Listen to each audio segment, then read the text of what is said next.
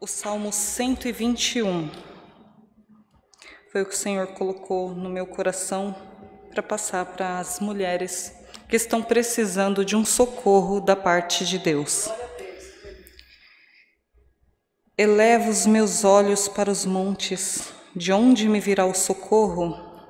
O meu socorro vem do Senhor, que fez os céus e a terra. Não deixará vacilar o teu pé, aquele que te guarda não tosquenejará. Eis que não tosquenejará e nem dormirá o guarda de Israel. O Senhor é quem te guarda, o Senhor é a tua sombra à tua direita. O sol não te molestará de dia, nem a lua de noite. O Senhor te guardará de todo o mal. Ele guardará a tua alma. O Senhor guardará a tua entrada e a tua saída, desde agora para sempre. Amém.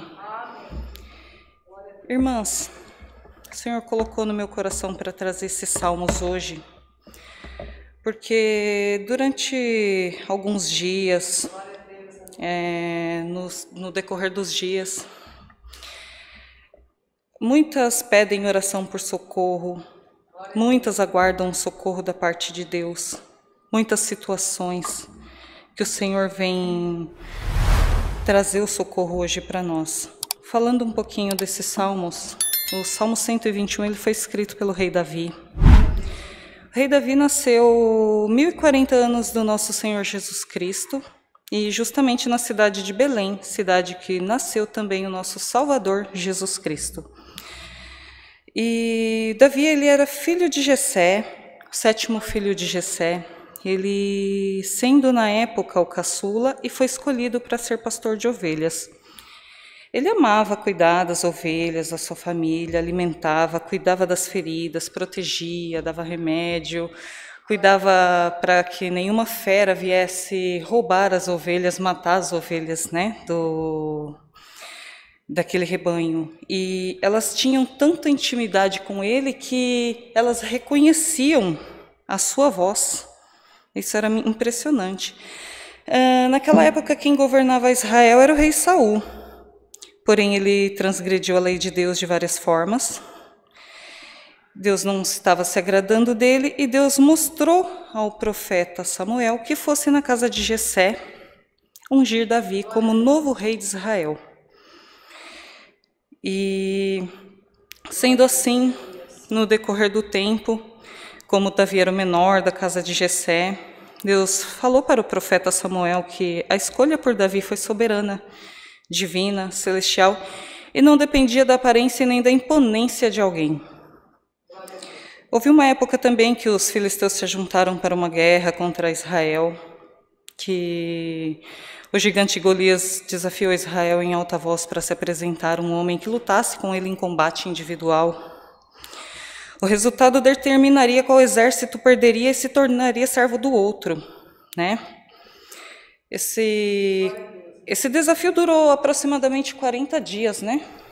E nessa ocasião, Jessé, pai de Davi, disse para ele levar suprimentos aos irmãos que estavam em combate.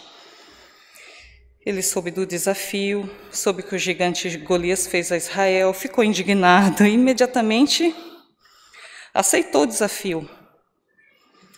O rei Saul ungiu Davi, desculpa, o rei Saul, ele ungiu Davi para colocar sua, ele orientou Davi para colocar sua armadura só que ele não teve êxito por conta da diferença de estatura e muitas outras coisas. Aí ele foi apenas com uma funda e algumas pedras, e com a estratégia que Deus colocou no coração dele, ele conseguiu derrubar o gigante.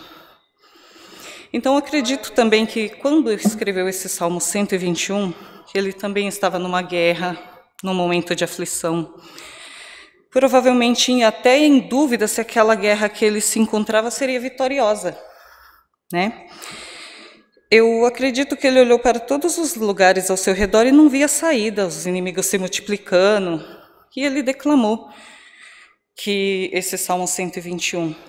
Então, esses salmos, o Senhor colocou no meu coração que é para todos aqueles que estão buscando uma proteção, um socorro da parte do Senhor que acredita no poder de Deus e na, na, e na sua vida, na sua vida, desculpa. No versículo 2, reafirmamos que o socorro que surgirá dos montes é, na verdade, o Senhor que nos defenderá. Ele afirmou com convicção, porque somente o nosso Deus nos defende da cilada dos inimigos e das provações que enfrentamos no dia a dia. Uh, nos versículos 3 e 4, eles mostram que cremos somente naquele que nos protege e nunca nos deixará nenhum segundo. Ele não vai dormir para poder guiar os nossos passos. Versículo 5 continua confirmando: Deus ele é quem nos guarda. Quando os israelitas caminhavam em direção à Terra Santa, eles passavam por diversas provações, entre elas o sol ardente sobre as suas cabeças, né? A sombra era uma forma de alívio e proteção ao meio do deserto, com temperatura escaldante. Então, o posicionamento à direita é uma demonstração de importância, é um lugar de honra, de respeito. E o sol não te molestará de dia nem a lua de noite. O calor do sol não te queimará durante o dia. E a lua é referência prova dos prováveis males e doenças que surgem com a neblina, a friagem noturna. Mais uma vez, Deus provém, que tu, Deus provém tudo o que é necessário para que nada de mal te aconteça. A proteção do Senhor não é somente contra os males físicos, é também contra tudo que possa encher de energias ruins a tua alma, o teu espírito.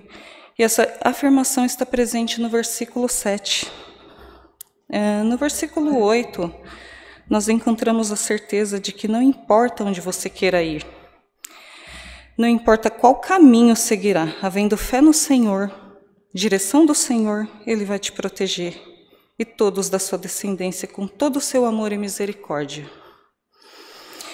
Nesse salmo, nós reafirmamos que a ajuda vem de Deus. Quem possui fé no seu poder nunca terá aborrecimentos Quer dizer, pode ter aborrecimentos, mas Deus tira todas as pedras no caminho, porque Ele te protegerá de todo mal. O Senhor é nosso guia, nos mantém no caminho correto. Ele nunca deixará que nenhum mal te desvie. Só que para que isso aconteça, você precisa entregar o seu coração nas mãos de Deus. Porque, conforme a leitura do Salmo 121, Ele te protegerá sempre das ciladas do, do inimigo, perseguição espiritual, inveja e tantas adversidades que enfrentamos no dia a dia. Se a sua fé é de coração, não tenho que temer as desventuras da vida. Sempre haverá força suficiente para que mantenha nós no foco, sempre na estrada certa. Aí hoje Deus pergunta para você: você está provado? O seu socorro vem do Senhor, que fez os céus e a terra. Você precisa de uma resposta de Deus? Você precisa de um socorro? Qual que seria o socorro que você precisa? Seria na sua área financeira? Seria na sua área sentimental? Seria na sua área espiritual?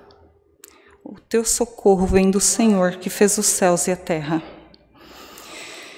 Essa perseguição que você está enfrentando é para que você redobre as suas orações. É para que você esteja mais perto do Senhor teu Deus, porque o teu socorro vem mais rápido. Olha só a importância de confiar no Senhor. É um testemunho que o Senhor colocou no meu coração para eu contar. Ontem eu estava no monte em oração justamente me preparando para esse culto que nós iríamos ver hoje.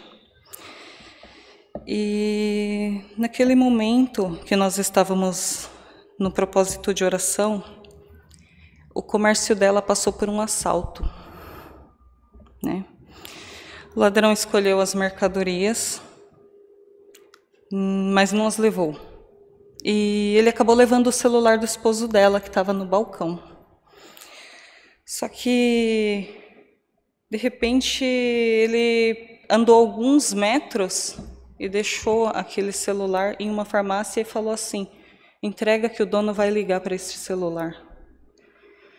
Impressionante. E no momento que nós estávamos em oração, o Senhor estava protegendo o comércio dela e não deixou ter um real de prejuízo.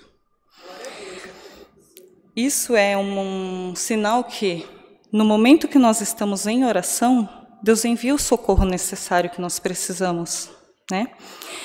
E hoje, qual que é o problema que você precisa que Deus entre com a solução? Hoje, essa pergunta que o Senhor coloca no meu coração para fazer para você: qual o socorro que você precisa para a sua vida? É, uma vitória seria dentro do seu lar, libertação de vícios. Hoje, conforme a serva de Deus estava fazendo o clamor, ela clamou bastante por mães que estão tristes. Seria uma mãe triste dentro do seu lar? Seria uma mãe com filho preso? Seria seus filhos, na, um filho ou filha na Cracolândia?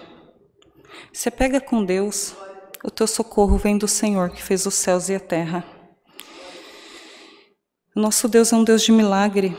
O seu problema, o problema que você está enfrentando não é nada para Deus. Ele quer intimidade, ele quer mais oração da sua parte.